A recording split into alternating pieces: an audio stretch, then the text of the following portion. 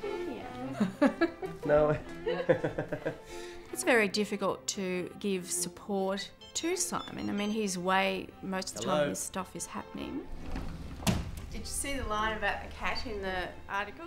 And when he's home, he doesn't want it to be sort of there all the time by me giving him all my good advice. Oh, next they'll be asking me how the cats are coping with the pressure. the leadership issue, so far as Carol and I are concerned, it's strengthened our relationship. Carol's been at the coalface of it. But I've got some, um, I've got a camera looking straight down my uh, shoulder. What Simon's going through now is difficult for the family because it's so public. People will say, you know, what's it like? How's it going? So you just can't even really forget about it. Speculation about the Labor leadership has not abated. What's going on is that Mr Crean's predecessor has changed his mind. Used a provocative interview with the Bulletin to throw down the gauntlet. that I never mentioned the idea of a leadership challenge. I never said that my views had changed one bit. I showed him total respect and total loyalty, and I expect the same in return. Those who are plotting against him are not telling him to his face. They're not fronting him. They want to talk to gallery journalists. They want to get their thoughts and our stories and nibble away at them. And there's nothing he can do, and it is bizarre. Rumours in Canberra's Parliament House today are that his leadership will now be challenged in a matter of weeks. Tuesdays and Thursdays are my tennis days, so I try not to listen to the news or watch the news, but then you sort of have to because you want to know what's happening. Simon and I first met at the local tennis club. Simon's mother was running the juniors. Right now, there is a fear that something will happen, that Simon will lose eventually a challenge. It is what politics is about. It's probably the, the, the absolute crappy end of what it's about. I'm no longer smitten by the glamour of it. I've, you know, I've had my lunch with the Queen and you know, I've done this and that. So you've just got to it's go for broke, isn't it? Now I see the whole story and what happens Yeah. That's what I'm saying. You've got to play really aggressively. and, and how it plays out and and you know, behind the, the beautiful buildings there's a lot of you know grubby stuff I suppose.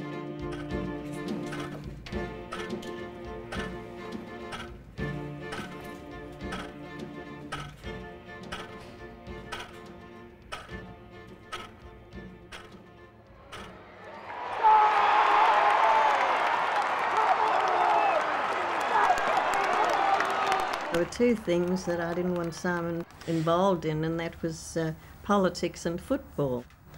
And it's, as I say, it just shows you how much influence I had on him, you know. Simon grew up in the political home. Frank Crean was treasurer to Gough Whitlam and he was deputy leader for a time. Dad, of course, always understood the importance of loyalty, always put the party ahead of himself, was disappointed in human nature. Betrayals. Betrayals. Uh, in politics, it's it's hard to define what is a betrayal, I suppose, and what is not. The relationship between Beazley and Crean is close and it goes back a long way. Very important. They were both senior ministers uh, in the previous Labor government. They're both sons of Whitlam ministers. Uh, there's a bloodline in there, if you like. My younger brother, David, the treasurer down in Tasmania, um, was left alone with Kim at um, one stage, and Kim bit his toe. David howled. I got to know Kim closely during the 80s. He, of course, in the cabinet, me in the ACTU, and with all of those accord negotiations. I was overseas with him on the occasion in which his marriage broke up, and I had a number of heart to hearts with him. It's not just the relationship develops that develops because you're in politics, but you become mates. You, you're close. Kim has not spoken to Simon honestly. I don't think he's spoken to most of his colleagues honestly. He certainly hasn't lived up to what I thought the sort of person Kim was. I, I just think the way he's operated is, is not being honourable. But you don't have to be honourable to be a politician. It's just everyone thought he was.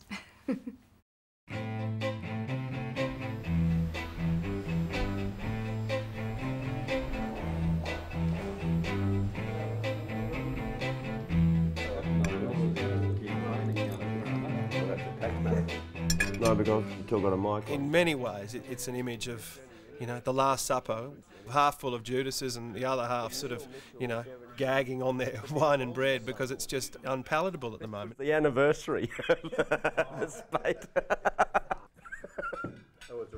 It just can't last. Even Crean's, be- Crean's stronger supporters know that it can't last. Ours was a better piece of legislation. In some ways, it's quite sad because there's just this gloom, this despair over the Labor Party at the moment. You know, they have a good day occasionally, and then it just gets overwhelmed by leadership speculation. I can get that bloody thing out of there. I've got to draw the line somewhere, mate. Now this is uh, exactly 600 words, Simon. Um, well, that's too long. Uh, that includes, you know, all of this. Well, I don't want it included that. I want to know. I'm not reading headings. Yeah. So how how many words are there? I mean, I've only got five minutes. Certainly a, a, a tense time for everybody. I'm new in the office, so um, you know, I mean, I'm the last person really you should be asking about what's going on. We saved the Murray and it can't even get a story. And they release a finding in terms of the reef and it gets front page of the Oz. Oh, that's right. Most journalists see politics as being uh, a bit like a football match, and they report it that way. And polls are like scores, and they like personalities, they like one person against the other. That is a fraction under five minutes at your reading speed, Simon, 110 words a minute. And they're not particularly interested in the ins and outs of policy. Fraction under. The release of Labor's internal polling tomorrow will coincide with the latest Newspoll, which is also expected to further undermine Mr Crean's standing. Well, Kim had a great deputy leader. Um, Simon knew that someone had to be in there pushing it up to the government all the time. He and his office managed to get a lot of scores on the board for Kim. I guess at this stage you'd be looking to um, reiterate your lines from the budget reply and also the constitutional reform speech. Inject a bit of that sort of where the builders there, the wreckers type stuff.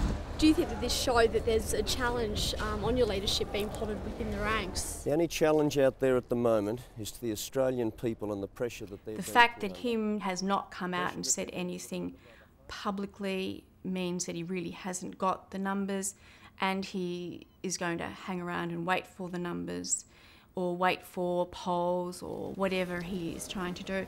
Now, that to me is a very selfish, egotistical attitude to, to leadership.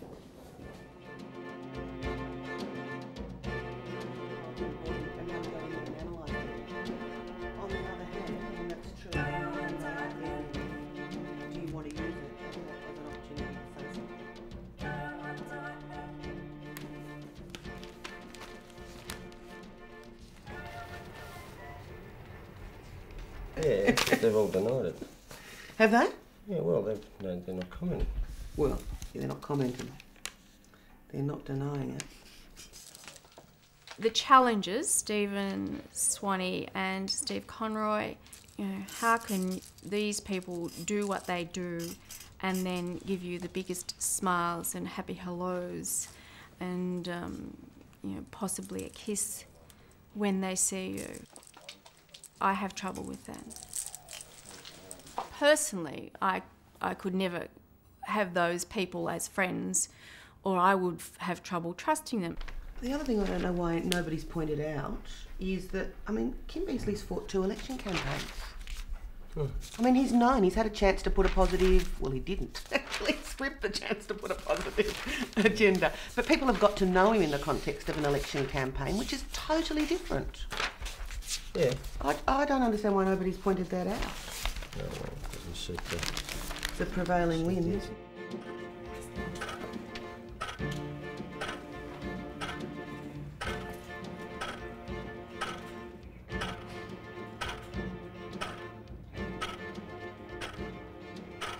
It's going to be really interesting because there's something is going to happen to Crean's leadership. it's clear that there's going to be a challenge, and how I'm really fascinated by how that pans out because it could be incredibly um, vitriolic and bloody and fantastic for journalists. They're a very happy crowd, the caucus, because we're on a positive agenda, and I'm going to keep them that way. We'd love to be there, and I'm sure if the last few weeks and months has been anything, we'll hear a lot about it. Labor's worried that if he's still there, they're going to be wiped out. Caucus members, it's their jobs, and they're getting towed. Excuse me, could the TV cameras please leave the caucus now? Call Sergeant Lock this out now. I don't know how it could have happened. Oh, you know what else bloody support? We're going home. You want a key to get in? That'd be right. An ABC lockout. Only people who bloody support their funding. John Howard may have harboured thoughts of retirement, but in the end the pressure to stay on was simply too great. I think leadership is lonely, quite frankly, because you've got to make the decisions yourself. You can take all the advice, but in the end, it's your judgment. It seems Kim Beazley is forcing the issue, reportedly launching his challenge to I just don't understand how you can say one thing and mean another and live with it. Simon Crean has been forced to I can't relate to it. It's not me and I could never do it. Wayne Swan, Stephen Smith and Stephen Conroy, pretending a meeting with Kim Beazley to discuss a leadership challenge. Simon would never mount a leadership challenge. He does not believe really that leadership challenges should happen. I think Simon has a, a very high moral view that if a leader is um, is not doing well, they're either voted out or or they would come to a conclusion that they're not the right person for the job. Kim would be very torn inside uh, um, his own mind. He'd be getting competing pressures, uh, conflicting views. Um, he would be finding it pretty hard to uh, know what the right thing to do was.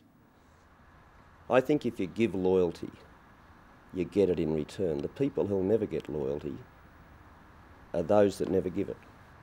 People are ambitious for themselves rather than, you know, the party the they join parties Mm. and get in and feel Oh, that they can do something. Sort of been outed and they've had to deny that um, they're challenging. I don't know. I don't know what the answer is. I'm glad I brought my children up differently. That's all I can say. Well, they should be a team and uh, not a lot of scraggy, struggling individuals, and uh, that's what seems to be happening. And I'm proud to stand shoulder to shoulder with Gough Whitlam in this great fight of his. Dad's involvement with politics had its ups and downs, particularly when he was sacked as treasurer in the Whitlam government. Mum was really angry. she took no prisoners. she was not allowed, uh, prepared to let anyone off the hook in terms of what she saw as the deceit and the undermining and the, uh, the backstabbing and the, the lack of loyalty. Frank was betrayed, but he would have seen it as part of the political game and he didn't really want to play it the way they were playing it. In a way, he, he stepped back um, in a way that Simon won't step back. Once these things get momentum, it's almost impossible to stop them, which is why, even though Kim Beazley doesn't have enough vo- of the vote at the moment in the caucus to beat Simon Crean, you just can't help thinking that eventually he will.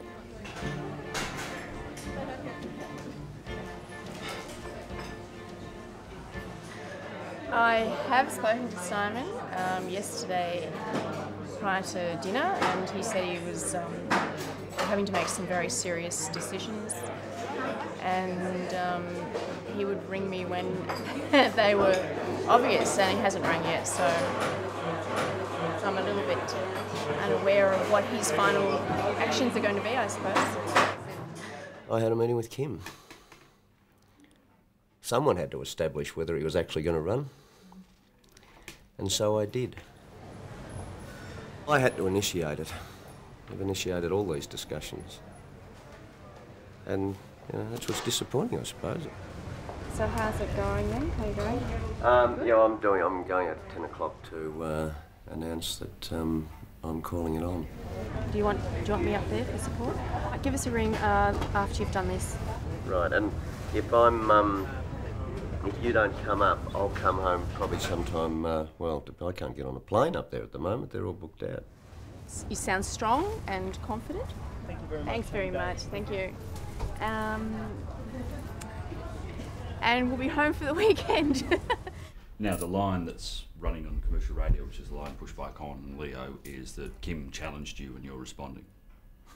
So it's you, know, you can see where they're trying to go with the dynamics of it. That he's the one who's taken up the gauntlet to you, when in fact. Anyway, I just say, well, look, if you want to accept their word or my word, go and check it with Faulkner. On you, Simon. Good on you. Backed up against a wall, he will go out and fight and, and try and change the situation. So it makes it makes him steelier, but to be steely, you've got to be focused. Second door, Simon. When people are focused, they tend to be Second one. very quiet and consumed by it, I suppose.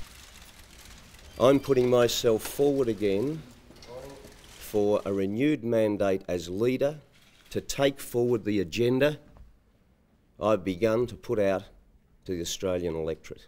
Kim Beazley has formally announced his intention to challenge for the Labor leadership, saying he's the leader who can connect with the electorate. I know I can beat John Howard. I can connect with the Australian people. It's as simple as that. I'm focused on two things, Neil. One is getting over this little hurdle. I think it's, well, okay, well, no, it's a hurdle. the, the hurdle on the path to Prime Ministership, one of many that's put in the way, this time by uh, some of my um, colleagues. Let's, let's put it that Your feeling was he shouldn't have called us spill. Oh no, my, well, only because I thought they wanted it. Mm, mm, so you know, mm. anything that they want, my, Mm. my natural reaction would be, don't let it happen. Yeah. But he, he just felt the damage to the party was um, was too great.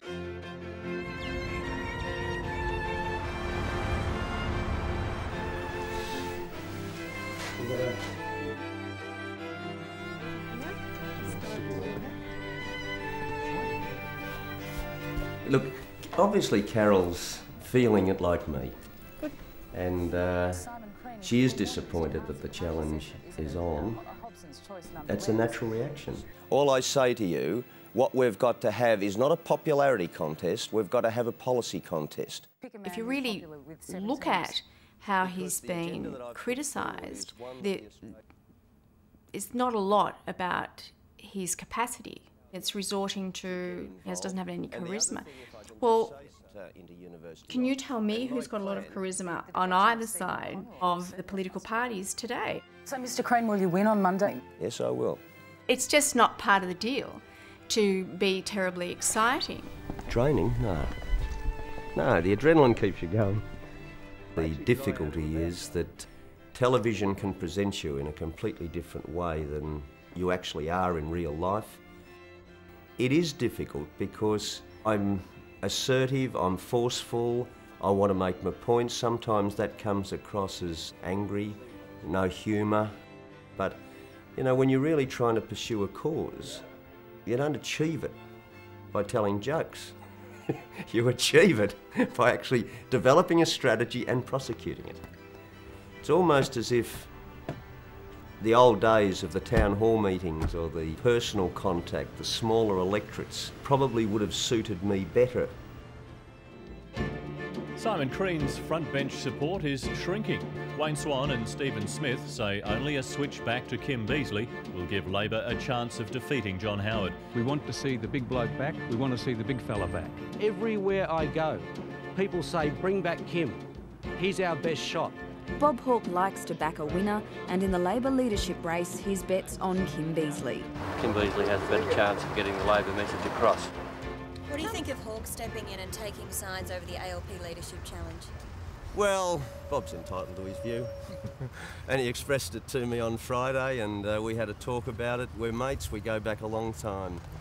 I'm disappointed that he's gone public with it, but he has. it's not going to influence the outcome on Monday. I'm very confident of my support. Who's Georgina? No, I think you need another one. Well, I've got the Yorkshire pudding. The girls always demand that.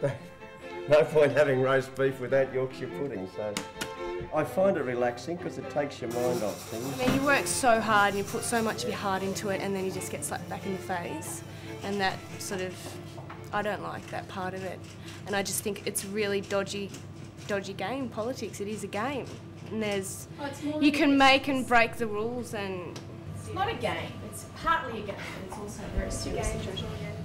We have two daughters, Sarah and Emma, 20 and 18. no, it's not. One's doing her last year at school, and the other's second year at university. Especially because of his position now, I hardly ever see him, but it does make the times that I do see him a lot worthwhile, and it's better because you appreciate it a lot more. So we have a, a different father-daughter relationship than most other people. We don't fight it. We still fight. we still have our fights. I know that. I know that. Our daughters don't want the angst, I think, of being involved in the spotlight. Okay. I think they're sort of re- withdrawing a little bit more than they would before. All right, here we go. A lot of stuff gets written in the papers and a lot of stuff gets said that I know for a fact aren't true. And it really annoys me when I can't express that in my own way and I don't really have any power to sort of counter argument any of all the stuff that's in published in the media. So that annoys me and I do take things personally. Perfect for you? Anyone want mustard? Yeah. So, yeah, they'll deal with it in their own way and try and not, not let it affect their lives too much. But I think that's how they've reacted. All right, see you Good later. luck, good luck. Mm. You'll be fine. Thanks for that. I'll see you tomorrow. Yeah. Yeah, it's, it's pretty nerve wracking. I'm going up, you know, so I'll, I'll be um, thinking about what's happening and then just hope there's plenty of smiles when, they, when they come out of the caucus room. He's always positive. He's always positive with me as well. Evening. So, you know, it's going to be okay, Kaz is a very common phrase I hear.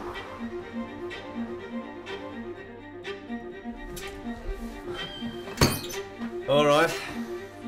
Five minutes to midnight. I suppose what I'll be writing in my column tomorrow is uh, is maybe paraphrasing Churchill that uh, this isn't the end. This isn't even the beginning of the end. It's done damage to Crean. It's done damage to Beazley.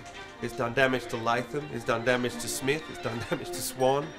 Who hasn't it done damage to? I, I don't know. Um, any Labor MP with a marginal seat would be uh, won't be celebrated. See you later.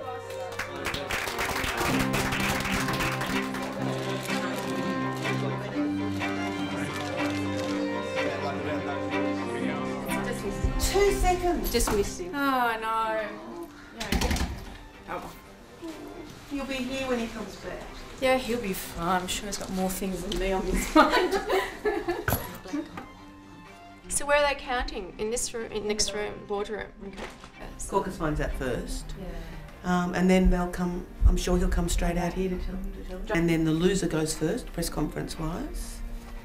And then we go. Okay.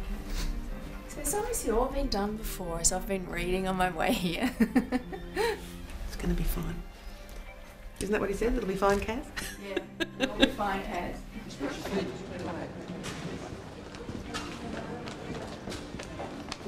Good morning. Here it goes. Hey,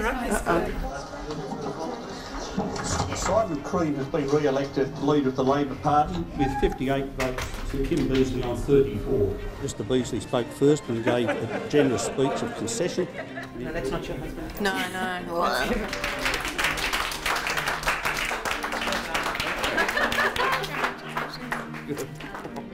Very proud, very relieved. Hi, Jenny. Thank you very much. Well, this is the start of the day to the renewed start of the day to defeat John Howard at the next election. Uh, my Come in. Come biggest in. relief will be later on tonight, though. when it's all What's sort the of biggest finished. relief? when Australian Story's been aired. My star sign said today, um, you may have said something recently that you wished you hadn't. no. All right, excellent. Okay, thank you very much. And let's turn those cameras off.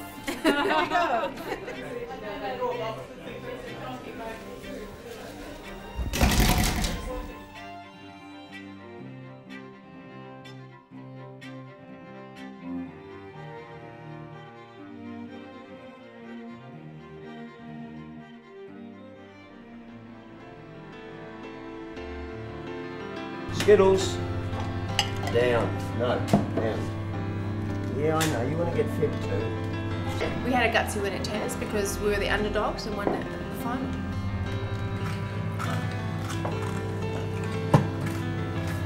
Yeah, well, I've got three of them. Three girls. Geminis.